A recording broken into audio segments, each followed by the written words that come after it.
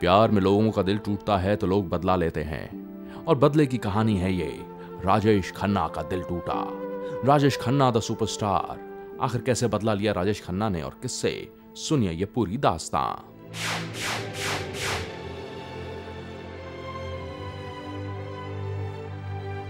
ये तो सभी जानते हैं कि जब राजेश खन्ना सुपरस्टार बने तो एक कहावत मशहूर हुई कि ऊपर आका और नीचे काका। राजेश खन्ना ने जो मकबूलियत देखी वो किसी और सुपरस्टार ने आज तक नहीं देखी है। दिए जलते हैं फूल खिलते हैं। बड़ी मुश्किल से मगर दुनिया में दोस्त मिलते हैं। काका जी का प्रेम संबंध शुरू हुआ अंजू महेंद्रू के साथ। ये दोनों एक नाटक के रिहर्सल के दौरान मिले।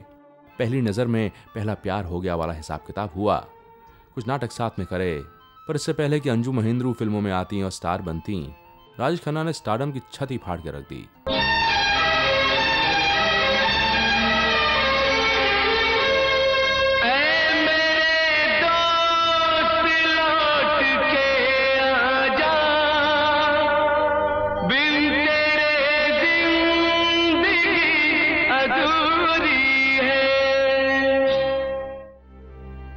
और ऐसा लग रहा था कि अंजू महेंद्रू और राजेश खन्ना दोनों शादी कर ही लेंगे।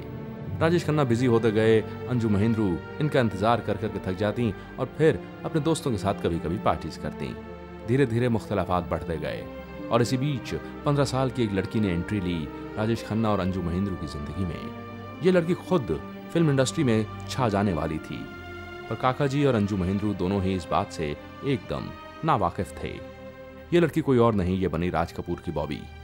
जी हाँ डिम्पल कपाड़िया। थोड़ा सा प्यार थोड़ा करार थोड़ा सा चैन थोड़ी बहार।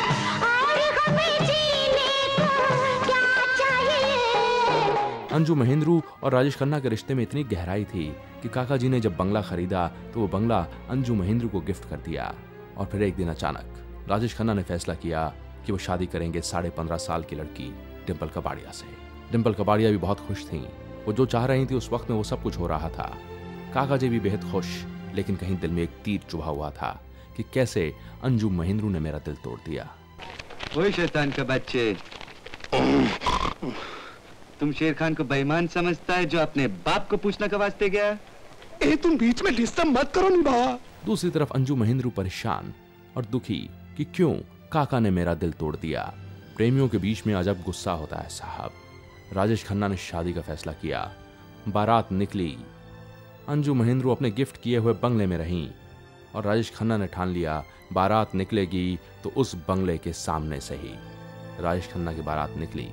ये दिखाते हुए वो गए कि देखो, तुमने मेरा दिल तोड़ा पर कोई और है जो मेरा दिल संभाल लेगी।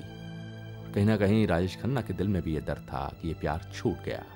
और उस छूटे हुए प्यार के प्रति गुस्सा दिखाते हुए अंजू महेंद्रू के घर के सामने से अपनी बारात लेके निकले। लेकिन साहब, पहला प्यार फिर पहला प्यार ही होता है। जब राजेश खन्ना अपनी अंतिम साँसें गिन रहे थे, तब डिम्पल कबाड़िया के साथ अंजू महेंद्रू भी नज़र आई थी काका जी के बगल में। राजेश खन्ना की शव यात्रा में अंजू महेंद्रू ने ठीक वही किया जो कि एक प्रेमिका को करना चाहिए था। काका की बेवा डिम्पल कपाड़िया के साथ ये खड़ी रहीं।